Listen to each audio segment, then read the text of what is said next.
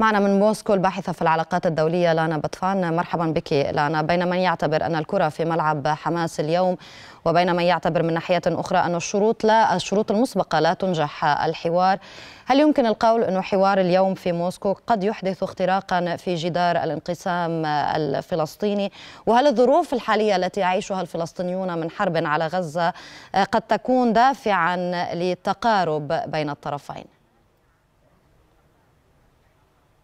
يعني كما نعلم بأن روسيا هي شريكة في الحل الدولتين الجانب الإسرائيلي وأيضا الجانب الفلسطيني حيث أن الجانب الروسي وفق المواثيق الدولية والأمم المتحدة قد اعترف بقيام دولة إسرائيل بالمقابل أن يكون هناك دولة شرعية للفلسطينيين عاصمتها القدس الشرقية. من هذا المنطلق اليوم روسيا حاولت مجددا أن تمسك زمام الأمور وخاصة بعد تصريحات لاذعة من قبل الجانب الروسي على أن الولايات المتحدة الأمريكية هي التي تريد أن تستفرغ بهذا هذا آه، الحل وهذه المسألة وهذه القضية القديمة في الشرق الأوسط. بالتالي آه، الاجتماع اليوم هو ركيزة أساسية روسية على أن روسيا ما زالت موجودة في آه، المحاضر الدولية والقرارات الدولية وأنها لم يتم عزل الجانب الروسي بشكل مطلق. وثانيا على أن روسيا هي أيضا شريك أساسي في حل مسألة الصراع الإسرائيلي الفلسطيني. من هذا المنطلق يرى الجانب الإسرائيلي على أن أساسيات حل هذا الصراع يبدأ أولا بحل الصراعات الداخلية الفلسطينية أي بمعنى أن يكون هناك هناك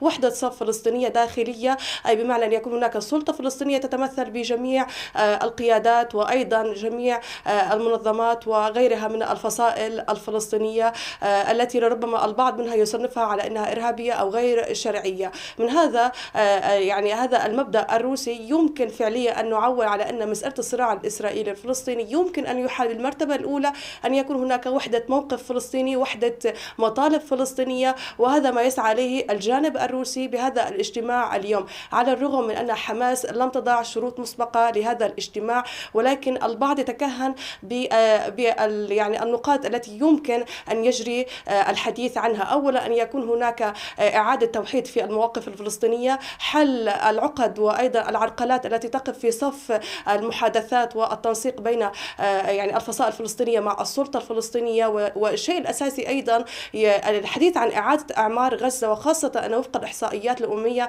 أن مسألة إعادة إعمار غزة ستكون صعبة وخصيصا نعم. في السنوات المتتالية لا يمكن الحديث عن إعادة إعمار بشكل فوري آه، وعاجل بالتالي م. بعض الخبراء قد رجحوا هذان العاملان الأساسيان في النقاش اليوم والبعض الآخر نعم. رجح أيضا عوامل أخرى منها أن يكون هناك توحيد صف في المطالب الفلسطينية خاصة في آه، آه، في في الحديث مع الجانب الإسرائيلي حيال وقف إطلاق النار بالتالي نحن نرتقب هذا الاجتماع اليوم وأيضا غدا في المسارات التي سيتم النقاش عنها. شكرا لك من موسكو الباحثة في العلاقات الدولية لانا بطفان.